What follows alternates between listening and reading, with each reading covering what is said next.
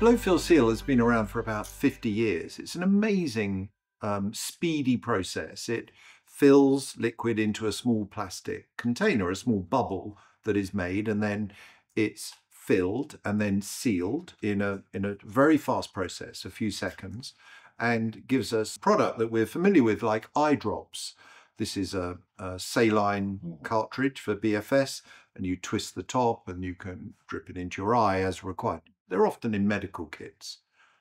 Blow-fill seal is a very, very fast way. One of the huge advantages with it is it's sterile. The contents inside, once it's sealed, are actually completely aseptic and sterile, which means you don't need a second step of sterilization.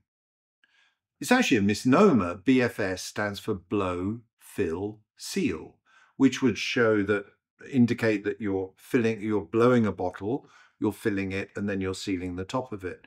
But actually, interestingly, it's vacuum fill seal. As the plastic is put into the mold, we actually draw out the plastic to the outer edge. One of the advantages there is that you can control wall thickness, but also you can get incredible detail. So if the design needed, say, a fingerprint subtly put here because that's where you're you're meant to put push your finger, then we can put that sort of very accurate detail by using a vacuum system rather than a blow system.